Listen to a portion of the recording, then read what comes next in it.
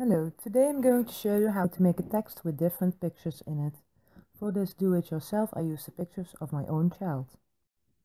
Choose the pictures you want to use. I start with the J of his name.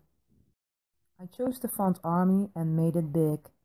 Make the letter big enough for the part you want on the letter. Select the letter and picture. Go to Object, then Modify and then Crop. Now you have the first letter.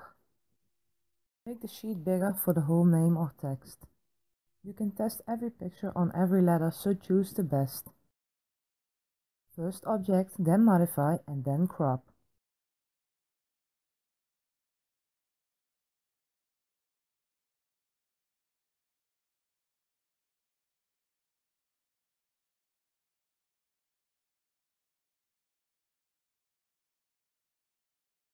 Thank you for watching this video. Please subscribe to my YouTube channel. Mm.